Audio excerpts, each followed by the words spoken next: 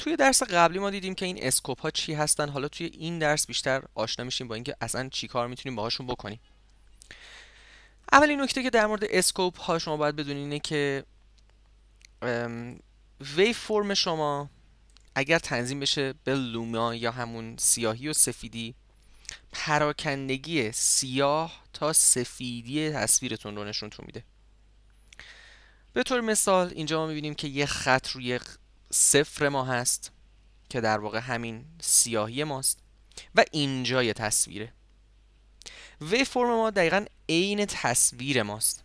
یعنی تصویر ما که این شکلیه دقیقا وی فرم ما همین جوری اون نقاط نشون میده. اگر یه سیاهی کوچیک اینجا شما داشته باشید مشخصه که اینجای تصویر یه قسمت سیاه دارید. اگر اینجای تصویر یه سفیدی 80 مثلا خورده درصدی داشته باشید مشخصه که اینجا یه خاکستری در واقع متمایل به سفید دارید. همونطور که شما اینجا می‌بینید ما یه خط بلند داریم روی سطح که خود صفحه سفید ماست. سه تا نقطه سفید اینجا داریم. سه تا در واقع دایره خاکستری که یکیشون خاکستری 90 درصد یکی 80 درصد یکی 70 درصد اینجا داریم. همونطور که شما می‌بینید یه دونشون تقریبا با خط 80 درصد ما مماسه یه دونشون با 90 و یه دونشون حدودا با 70 اینجا 60 50 40 رو داریم که دقیقا اینجاست. و این طرف هم 30 15 صفر که این ستا در واقع خط هستن. خب زمانی که شما یکی از این سه تا قسمت رو تغییر می‌دید که با highlight midtone و shadow مشخص شدن.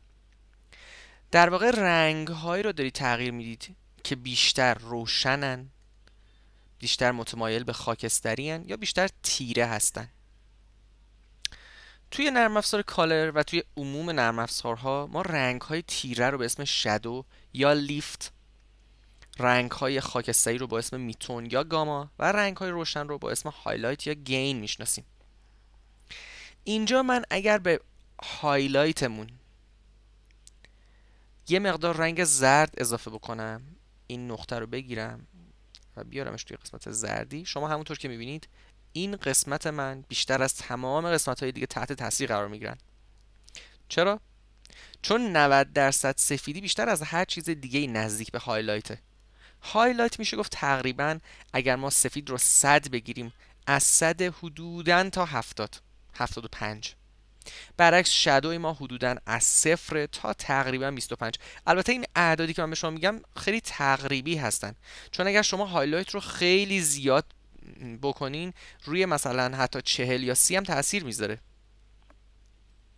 اما وقتی ما میگیم می‌خوایم highlight رو تغییر بدیم یا highlight رو در واقع یه رنگ بهش اضافه بکنیم بیشتر روی رنگ های طیف روشن تاثیر می‌ذاره.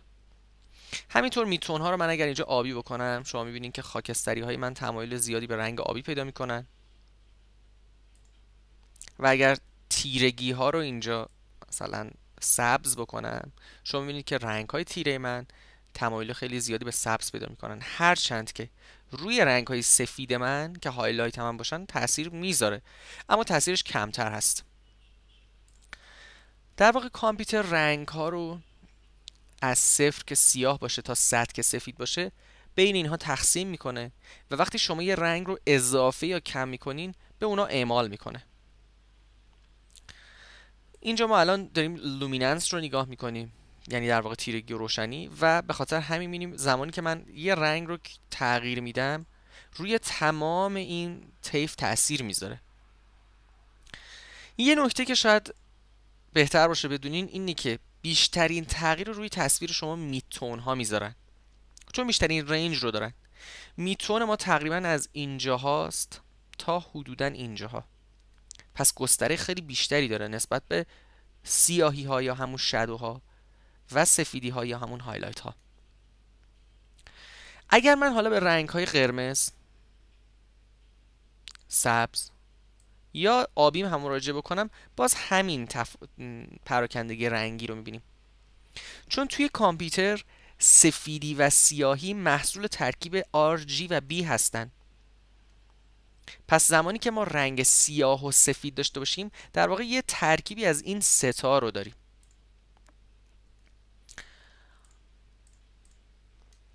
نکته که در مورد سیاه و سفیدی باید بدونید شاید در کنار این وی فرم شما هیستوگرام شماست.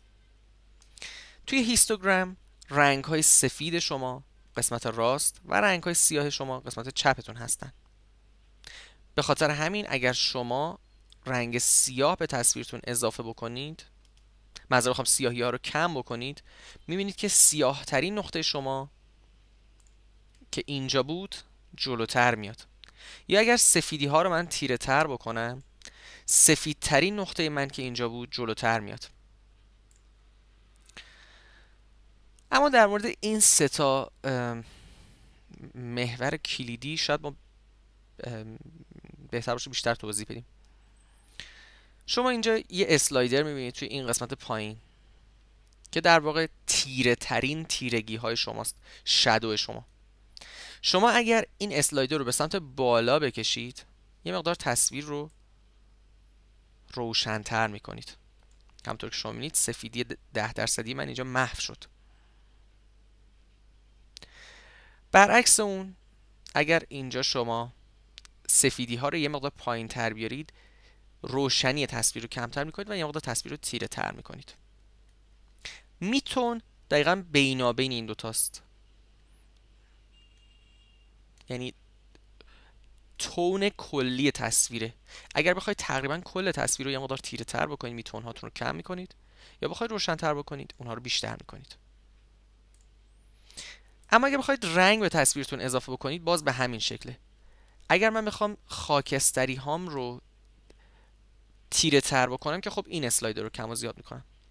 اما اگه بخوام یه رنگ خاص بهشون نسبت بدم مثلا خاکستری رو قرمز بکنم هم می‌تونم این نقطه وسط رو به سمت قرمز بکشم. هم می‌تونم از طریق این اسلایدر بیام و این بار رو در واقع بالاتر ببرم.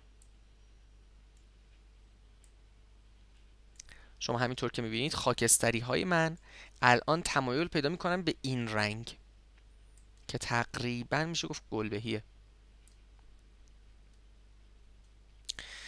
اگر هم بخواید یه رنگ رو کلا تغییر بدید توی تمام تصویرتون این اسلایدر رو بالا پایین می‌کنید. مثلا من می‌خوام حالا آبی بشم میتون ها یا ماژنتا یا سبز.